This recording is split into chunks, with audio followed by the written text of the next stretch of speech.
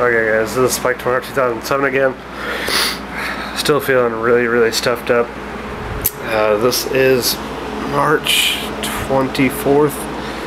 It is a Saturday, I believe. Yeah. Uh, it is currently 6.42 a.m. I am feeling really, really horrible. I can't sleep because my nose keeps clogging up. I'm taking my Sudafed that you guys can barely see. Took one of my Sudafeds uh, way, way long time ago. I took a uh, little small amount of my NyQuil and then I ran out. But nothing's helping this. Like, I don't know what I'm coming down with, but it is pulling my entire body down. Uh, honestly, I don't even know if I'm going to be able to go into work tonight because of how I'm feeling. Can't sleep, having troubles breathing just due to the constant need to blow my nose.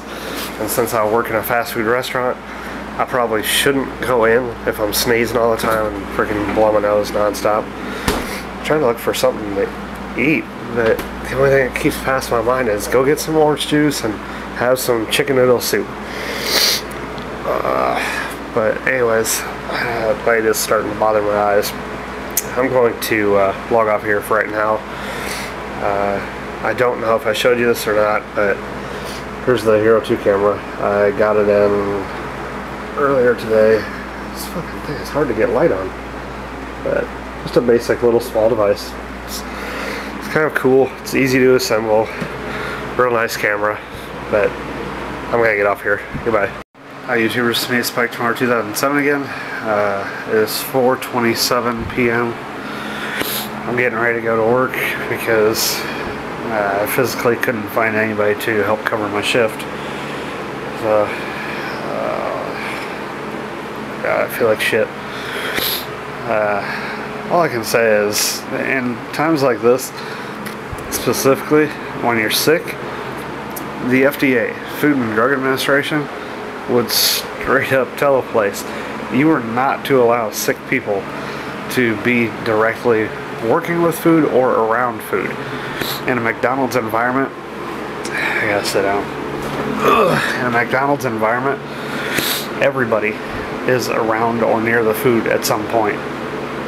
Which means if you're sick, the FDA would tell you you shouldn't even be working at McDonald's on those days. This McDonald's out here is the only one I've ever seen or heard of that tells you you are in charge of finding your own replacements. Even the one in Papillion that I worked for, I, I can't speak for all McDonald's, but the one that I worked for in uh, Papillion, it was a corporate McDonald's. So keep in mind, it, it is run by the actual corporation of McDonald's, unlike this one, which is just run by random people that work out here, plus, uh, I don't remember his last name, and I wouldn't say it even if I did, but guy's name is Steve. He owns like 10 McDonald's, maybe 7, I don't know, but I've heard he owns quite a few of them. But overall, the FDA would have directly told the place you're not to have people working. Like Walmart, for instance, they have a strict policy. If you are sick, you sneeze so much as once, they'll tell you if we see you sneezing again, you will be sent home. This place out here, McDonald's, I literally have heard of and seen people physically go to the bathroom, they vomit, they come back, and then they ask to go home, and the management staff will still tell them no, you can't leave. No, you've already come in, finish up your shift. Why am I saying this? Not because I care to get the day off. I don't. But in uh, Canada's own words, it's better to have healthy workers than workers that can't hardly work at all. That was a phrase that some person in Canada a while back had stated. And basically all it is is in Canada they have a firm belief that they should always take care of their actual employees, their uh, people in general. Like I'm, I'm not saying even from corporate standpoints or business standpoints in general, just from a person to person standpoint. Yeah, freaking headache. But uh, basically, out in Canada, they straight up tell people if you need medical help, go to the medical offices. We will give you health care. Now, needless to say, it's been said that America does have way, way better health care anyways, but that's not the point. The point is that Canada would rather spend the time keeping their people healthier than waste time telling them, hey, you owe us a lot of money for trying to uh, help you out and get you away from being sick. Uh, I guess this vlog is kind of going all over the place. Uh, I literally I feel like shit. Like I may not look like it, and I may barely sound like it, but I feel horrible.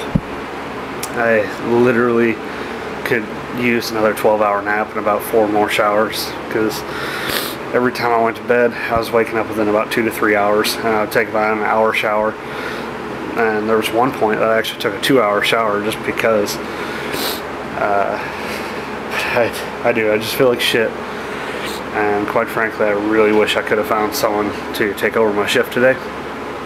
But I didn't so I'm gonna go in I'll be sick while I'm working there and I guarantee I'll come back I'll feel even worse tomorrow probably but hey that's what you got to deal with when you work at McDonald's out here at least is the fact that they will literally threaten to fire you for shit like I don't know, even what I'm doing. I, I would assume I can even be threatened to be fired or be fired just for stating stuff that is against the law uh, on YouTube.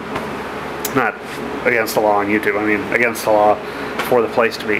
Like you could be saying, for instance, like how I said, the FDA would directly tell McDonald's, hey, your employees are sick. They are not to be around food.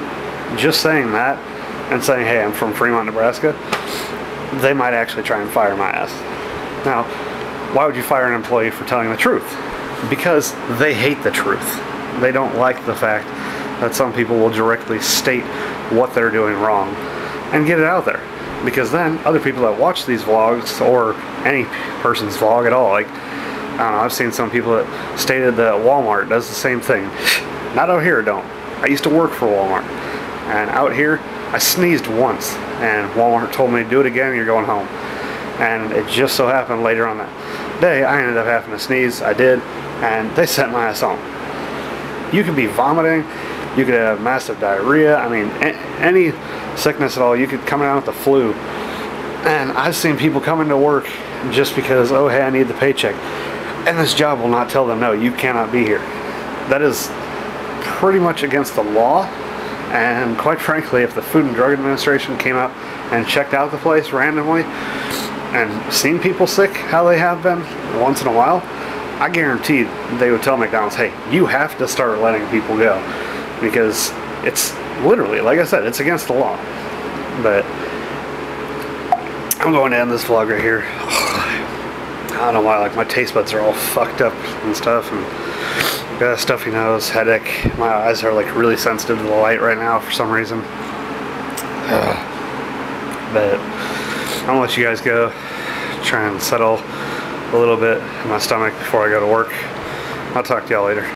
Okay, before I leave for work, I just want to show this to everybody. Okay, let's shut it off.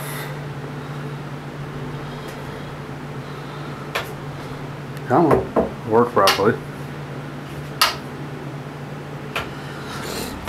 Yeah, for some reason recently, my bathroom light started just da, da, da, so I gotta get a maintenance person up here and have them fix that for whatever the hell reason it's doing that.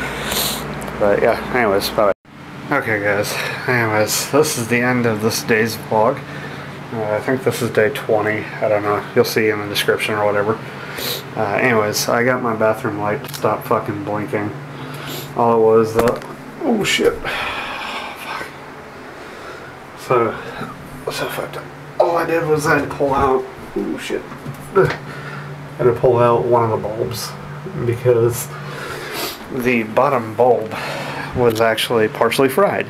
So I remember back in electricity class, one faulty bulb can actually cause an entire circuitry to go bad. So I yanked it out and so it'll spare that bulb until it gets completely dead and shot too. But I'm gonna try and put in a work order on Monday for them to come fix that. Uh, anyways, I'm tired, I'm worn down. I feel like shit. Still blowing my nose. I just gotta have a hot shower. But I'm gonna let you guys go and get some rest. Goodbye.